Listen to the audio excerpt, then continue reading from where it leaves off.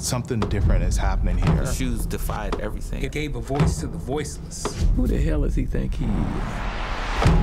Phil Knight was told it would be the death of Nike to have a black man as the face of your company.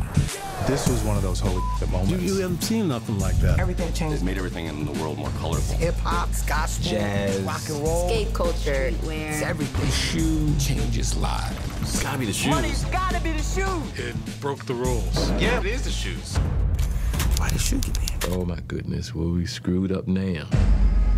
Just the fact that they were banned. Outlaw. It rose like a phoenix. This never been done before. Nike was really pissed off. How you gonna ban greatness? No one really is right. Kind of exploded. It's too What much. we're gonna do next? Some type of unification. Became or Change the world. boom.